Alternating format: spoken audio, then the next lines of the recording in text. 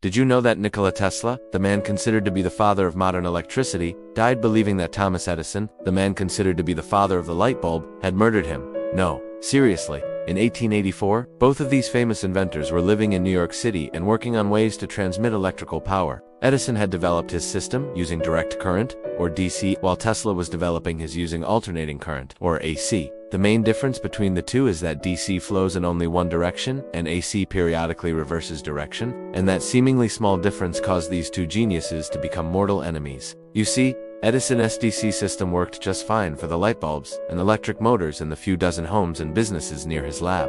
But as the demand for electricity grew, it became obvious that his system had some major drawbacks.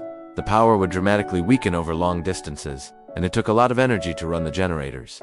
Tesla's AC system solved both of these problems. It could deliver reliable power over much longer distances and required far less energy to generate, so it's not surprising that his system won out in the end. But Edison was a stubborn, almost comical character. And when a new invention threatened to make his obsolete, he tried everything he could to stop it, even hiring an assassin. Okay, not that last part, but he did do the other things. For example, he launched a massive PR campaign to convince people that AC was dangerous and started an war of the currents with Tesla, claiming that his rival's system was deadly and that it had already killed a man in France. To make matters worse, Tesla was an immigrant who didn't speak great English, so he didn't realize that Edison was playing him. In fact, he thought that the two of them were friends.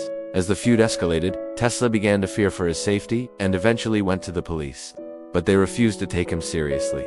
So he spent the last years of his life looking over his shoulder convinced that Edison was trying to kill him. But in the end, it was the bright idea to use alternating current that ended up killing Nikola Tesla's career.